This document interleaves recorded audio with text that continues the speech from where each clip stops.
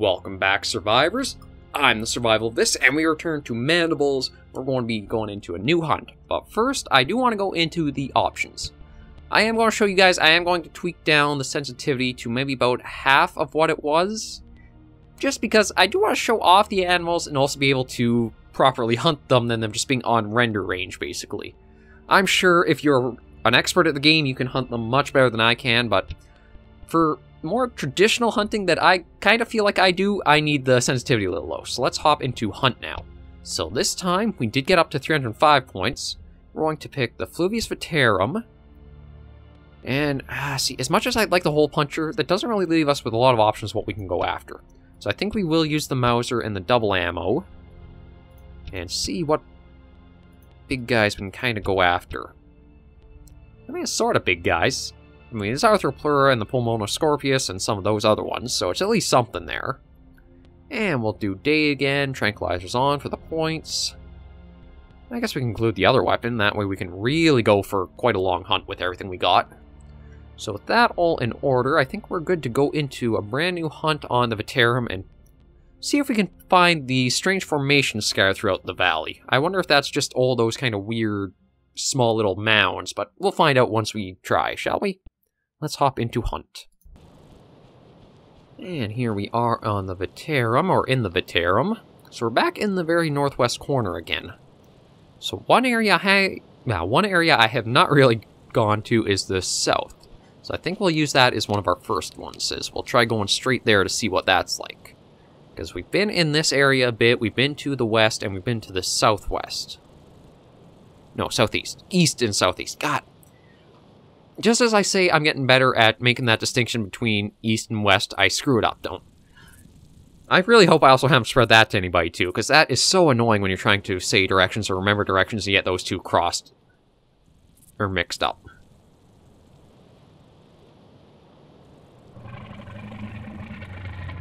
Okay, that's just ambience, because there's nothing on in the game that actually makes sounds like that you hunt or will hunt you, so we can at least take a little edge off that all of our Triassic days are done with the bonus episode done and being able to show off the Gojirosaurus.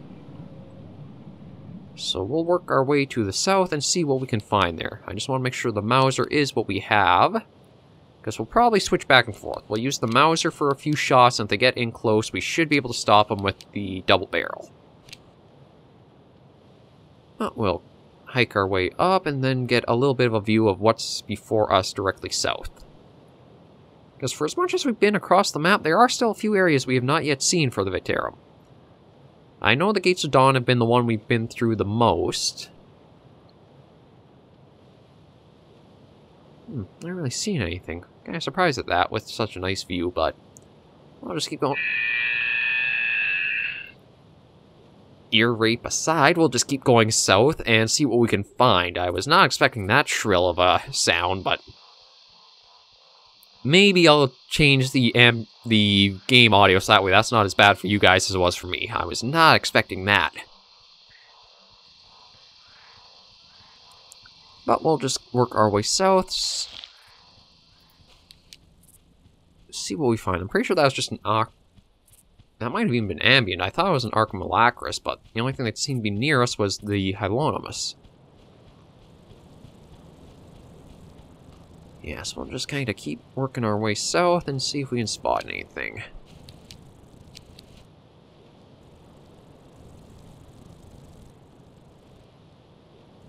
I do have to say, I like the overall design of the Veterum as a map. A lot of the ground is pretty smooth and easy to traverse up and down. There's the only areas where you really do feel like you have that hard to navigate where it's super steep are very rare spots. There's still a lot of interesting ambient sounds that go on. And those are probably, this is probably going to be the map where they get me the most, because they sound so insect-like. And Mandibles will train you to be on the lookout for anything, basically, well, actually all the Carnivores games, anything that moves, you direct your full attention to it. It's not like other games where you have a little bit of HP and you can take a hit and then react. It's you have to hunt or be hunted. It's not really seeing anything. I'm kind of surprised at that, but.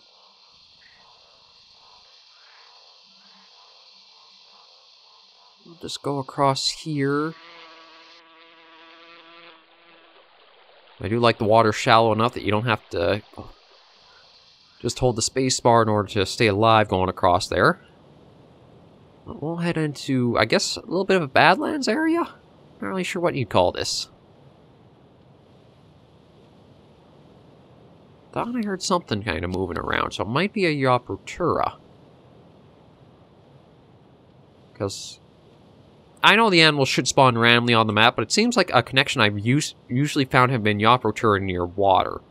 I don't know if that's I've been driving them towards that, and the AI they just can't navigate around that, or it's just coincidence that's the case. But that's something I've noticed is it seems like they are almost occur more often near water.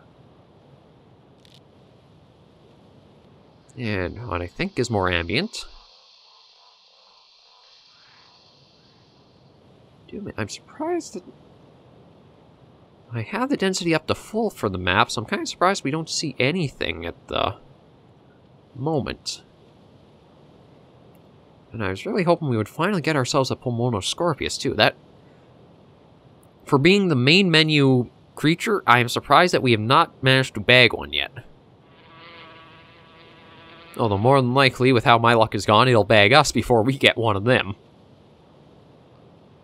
We're going down to the very southern tip of this little area here, and then we'll go across the river to see what's there.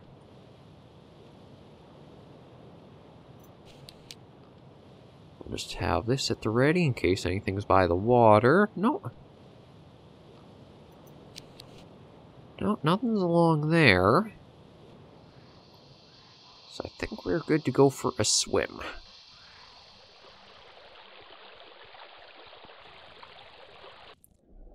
Yes, this is an area where you do have to be mindful of your oxygen on the top right. Well, that's done. We're across. Just gotta adjust my seating a little bit. Legs starting to fall asleep. Anyway, let's see. Kind of surprised how barren it is for the Veterum. I wonder if there's... Ah, see, I'm probably breathing too much into it, but I almost feel like there's something like the... What happens in the Hunter series a bit is... Well, actually, I can't even say that, because back in the Hunter Classic, there was a thing where no animals would actually spawn within, I think it was a 250 meter radius around where your character starts. I don't know how true that was. I felt like that was something that existed, where it wasn't something where you could spawn and immediately have right in front of you an animal. I know Call of the Wild changed that so you'd see them around you much more often. Almost feels like the Carnivore series does that in little ways, is there's not generally nothing around you for a little while. I do remember in Triassic, though, there are times loading in where either a, a Compsognath... Was it a Compsognathus? I feel like I... No, Coelophysis, that was it. Coelophysis or Herrerasaurus or Liliensternus, basically anything that was aggressive could spawn right by you and quickly hunt you down. So that it warranted a few quick restarts. But overall, very, very empty. I might actually have to do some sprinting to try to find something, because at this rate, we're not really going to have anything for this episode either. We're going to do a little bit of running and just make our way east. See if we can even just startle something that's lurking around. So I really thought we would have seen something by now. Like, aside from a Diplocaulus, there's... Ambient life is abundant, but the actual things we can hunt for points are not. Although we do hear sounds like there should be things.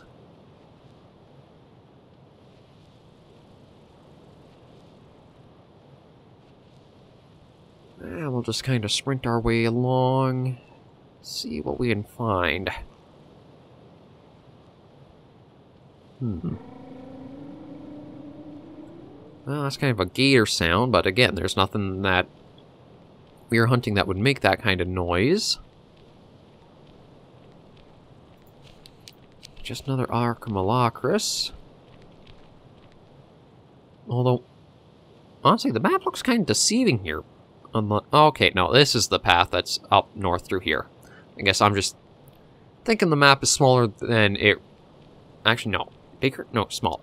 Smaller than it actually is. Gosh, seems like once I have to start talking and holding up the videos on my own, I lose all my confidence in that, don't I? Well, I guess that's the game saying yes. A sign that you really should figure out more to talk about in between actual events going on. Okay, let's see. Gotten up a little further now. Still nothing about, though.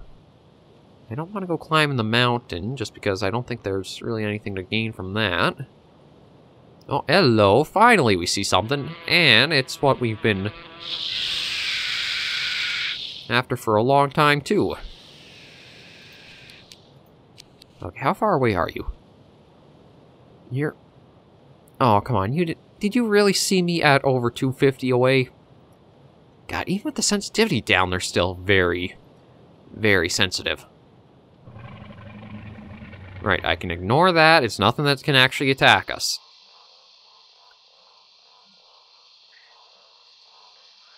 But now I do have to figure out how far that Scorpius went.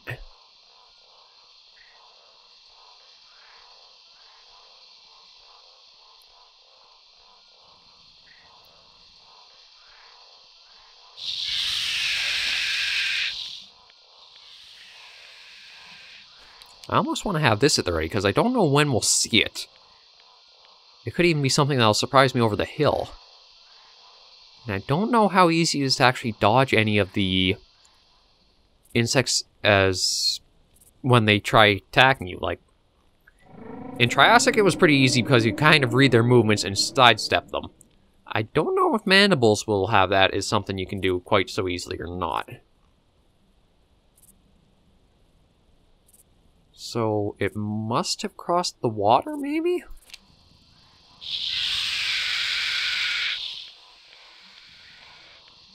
Okay, it definitely sounds like it went across the water.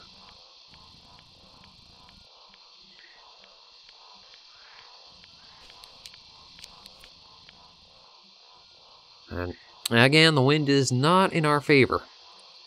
It always seems whatever I try to hunt, the wind is always against us. Actually, I, I wish it was against us because then the direction we're going, it's blowing towards us. You know what I mean. God, I, I swear I really got to get back into the swing of this, don't I? At least we still show off good content with the series.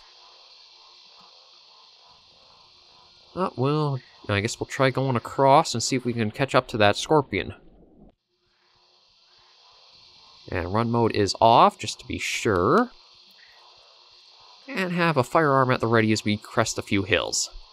Because I don't know how far off it might be, although, yeah, the wind is really not helping us here.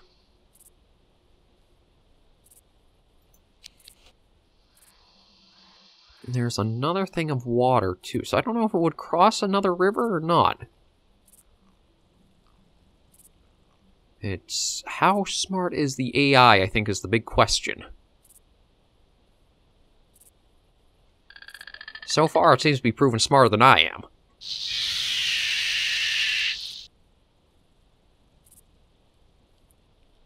Incredibly so, because we now seem to have completely lost that Scorpius.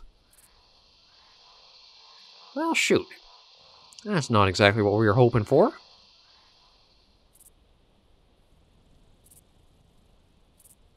So, what can we do instead? Well, with the wind being so strong against us, we'll have to hunt in its direction. So basically have to go right back in the way we came.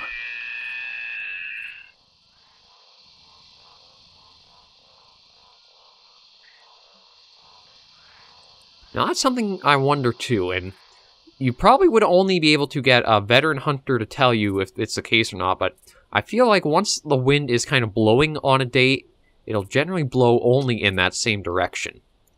I don't know if it really shift about as much as it seems to in carnivores or in any hunting game, really. Because I feel like that should be something with like the prevailing winds where you'll have a general direction it's always going to blow. And it's not exactly going to rapidly shift as it does, but again, I'm not a veteran hunter in any way, and I'd really like to find out how much that plays into things, because I know definitely having to cover your scent is one of the keys of modern hunting. Hello? There you are. Okay, so the... Well, aside from the shrillness of things going on around us, we'll try getting a little closer. Ooh, okay, we'll stop. So it's within 250.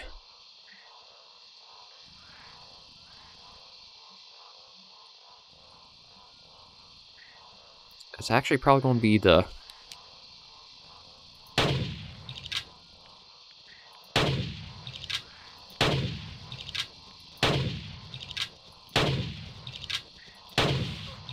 I think we got it.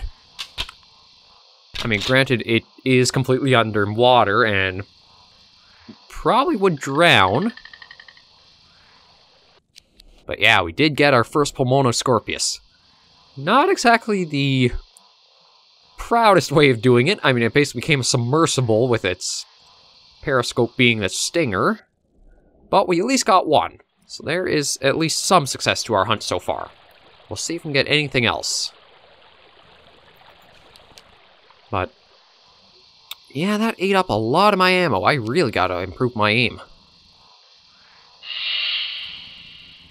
Right? Remember, that's nothing that can get you. It's just some very, very shrill ambience that can get your ears a bit. Okay, let's see. Oh, is there something else up there? There is. It's another scorpion.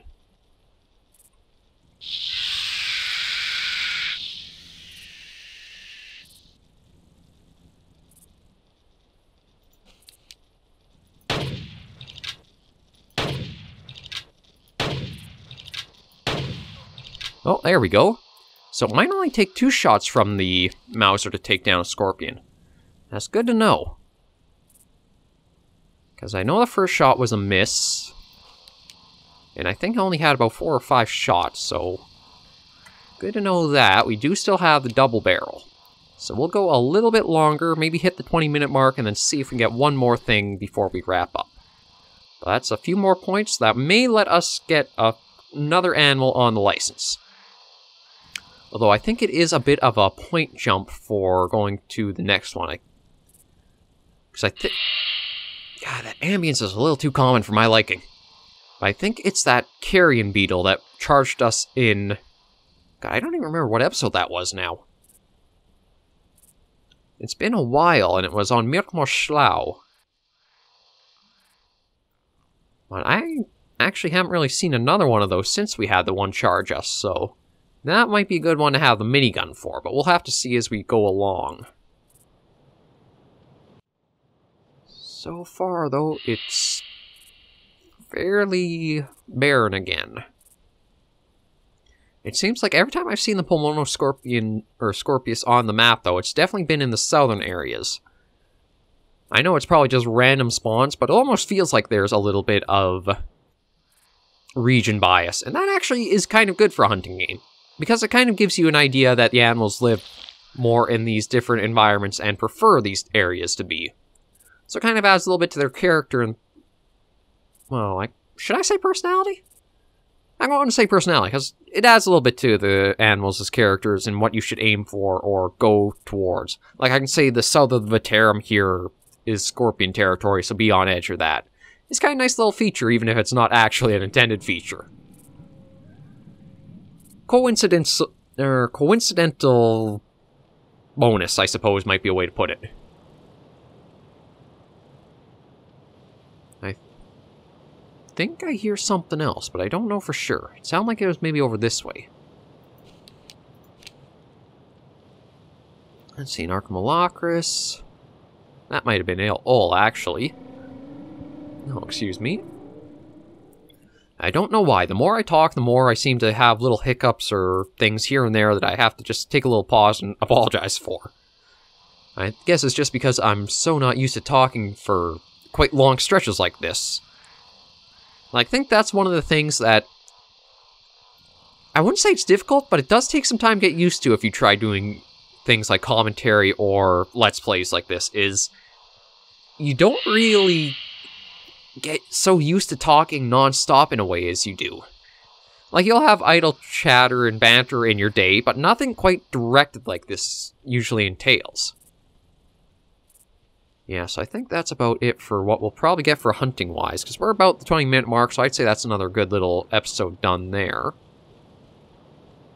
But as I continue working at this and slowly just do it more and more, I'm sure I'll work back into the groove and try to squeeze in what I can. Good lord, that ambience, though, is so unsettling sometimes, especially when it sounds like it's right in front of you. Well, I'll just make sure this crest is clear. Okay, we're good to end things off here. So, thank you guys for joining me on another episode of Mandibles. I know they can be a little dry here or there, depending on what we find, but hopefully with the points and maybe a little bit of farming I'll do on my own, we'll start unlocking things like the minigun and the hive to go on for new maps. But once again, thank you very much for joining me. If you do like the series or any of the content I put out, be sure to leave a like or comment, let me know. I'm always eager for feedback, and I hope to catch you in the next episode or series. Please remember, as always, survivors, to take care and stay alive.